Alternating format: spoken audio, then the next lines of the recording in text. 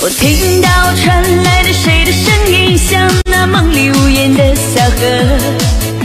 我看到远去的谁的步伐，遮住告别时哀伤的眼神。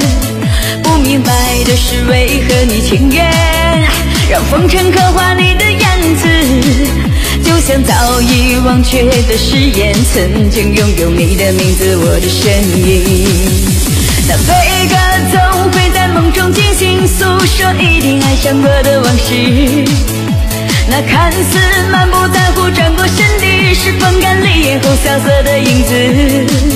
不明白的是，为何人世间都不能溶解你的样子？